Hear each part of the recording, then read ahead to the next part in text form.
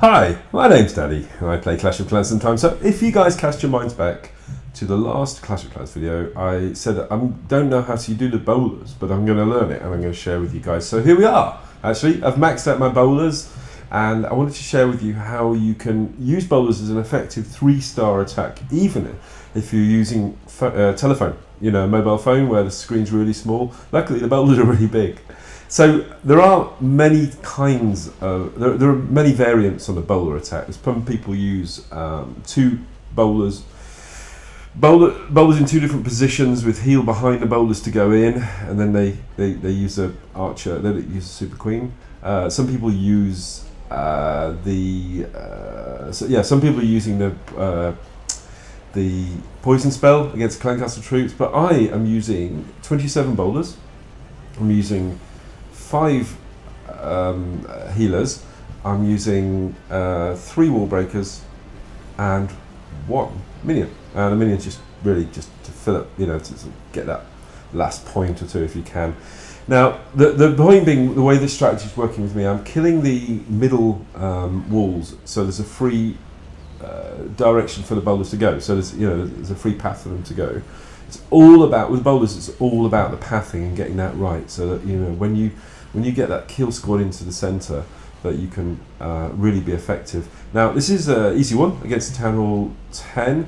Uh, the next stack's are going to be against Town Hall 11s, and I'm going to finish off with a super archer attack, which you guys are just going to love. So, um, essentially, what the stages are. So, first of all, the way that I'm doing it, I'm using five healers on the queen.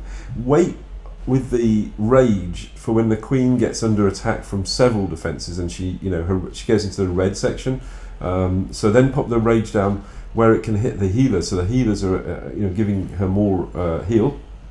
And then use some wall breakers to pop in uh, pop open the uh, the outside walls. Um, oh and of course the earthquake. If you do the earthquake first actually it's uh, often a good idea. So do the earthquake to clearly clear the path and then it's all down to the, the pathing of the, the bowlers to get them and the uh, garden, uh, Grand Warden into the core. Now, when the when you're against the Town Hall 11, of course, you have the Eagle Artillery. So if you can take out the Eagle Artillery with the Queen, that's great. So, but uh, that's not always the case. So, say for example this one here where it's not the case. So this is not a maxed out. Well, it's actually maxed out defense pretty much. It's got a couple of defenses upgrading in the top right corner. So but I'm going to take out the, the middle walls there.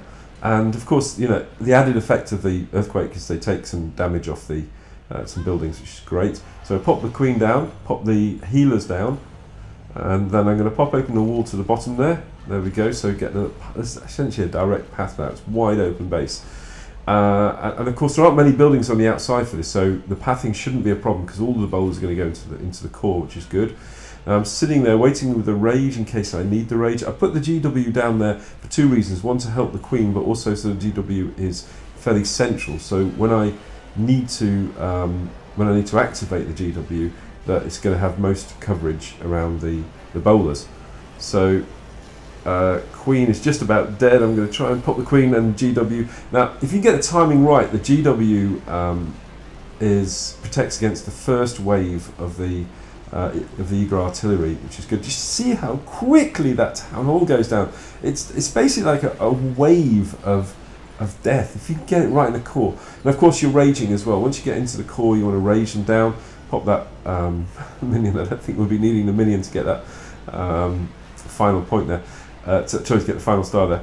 So take out the uh, Eagle artillery. Now we've got a fairly fairly easy job really to do now to mop up the queen is getting. Um, I think the queen's going to probably die because she's under a lot of a lot of pressure there, and I've popped her ability already. So there's really not enough heal to, to save her. The king's going to just uh, hopefully bash open that wall. Um, uh, unfortunately, I, I, mean, I did. You probably you use a second. Uh, sorry, a jump spell. So there's three. I guess there's three ways of destroying uh, the walls here. So there's um, carrying the four um, earthquakes for the initial break of the main core. Then you've got three wall breakers to get the outside perimeter wall, and then you've got a jump spell just so that the troops go through. If you can cut those those bases in half, you get most of the defences people put in the middle. Um, and essentially, what you're really trying to do is get to those um, those uh, sorry the uh, inferno towers as quickly as you possibly can, and if possible, while um, attack the inferno towers whilst the um, the GW's um, abilities on. I mean, the whole point there really is that the healers can't heal against infernos. So let's check out another um, relatively maxed out base actually, but the base layout is not great. Now I made a mistake here of not um, popping the uh, the walls and the core open uh, soon enough. Um, so I'm going to have to do earthquake. Earthquake's a very precise thing, but you can. It's much better to do it right at the start. I just get into the habit of doing it first. So I'm going to pop my troops in. Uh, this was kind of pretty much when I was first learning how to do this attack. So there's, there's a few things here that I'd have changed.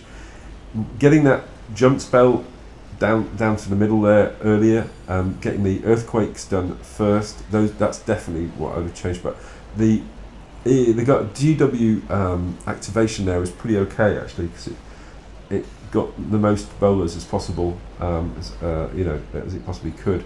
Now I did practice with the clone spell, so I thought, well, if we can path the bowlers into one area, maybe we could use a clone spell to, you know, to get more more, more bowlers. But it really wasn't for me. I mean, I, maybe other people can do it better than I can, but I really didn't find that it was um, giving much be much benefit over to rage, and quite often it was really hard to get them to go in one direction.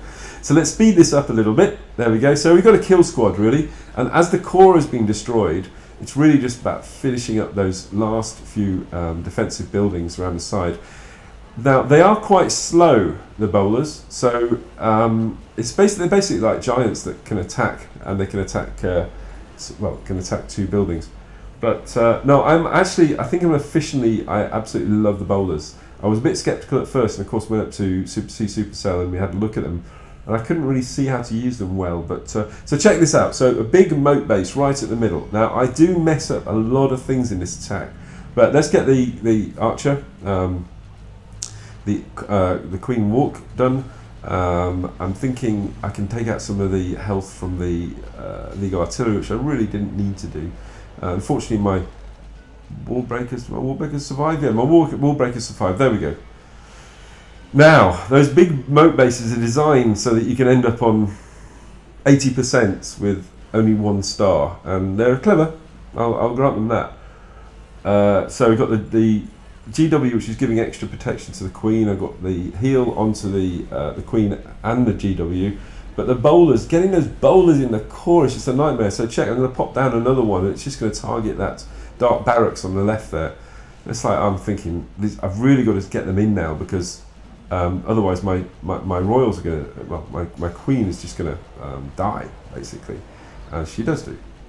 So here am I thinking, right, okay, if I can get one star, I'll be happy with this. But check those uh, archers that came out of the uh, the clan castle there. So there's there's some very, very, very lucky archers. So I got my uh, Valks coming out into the core. In, in the clan castle, it you know it's really up to you what, what heavy ground you, you store. I mean, I, I, I would take Valks. I would take Valks, a golem, or bowlers in the clan castle. Really, um, that that would be fine by me. Um, so we got the we got the town hall. So now we've got one star. We've got the town hall on what five percent, eight percent, and I've got one archer just there, and that one archer is just chipping away just out of range of any of their defences. So I'm thinking, gosh, this is going to be another 70, 80%. I might as well go for the high percentage so I can get the full loot bonus, which is two uh, 250,000 of each. And I think 1,600 Dark Elixir at this level, which is great. So over 75%. And I'm thinking, oh my gosh, here we go. What a wonderful super archer. Anyway, so that's how you do the uh, the bowler. I'd love to know your thoughts in the comments. Please do let me know. Um, if uh, if you've got any comments or if any suggestions, that'd be great. Thank you very much indeed. Have a wonderful day. You guys take care and bye for now.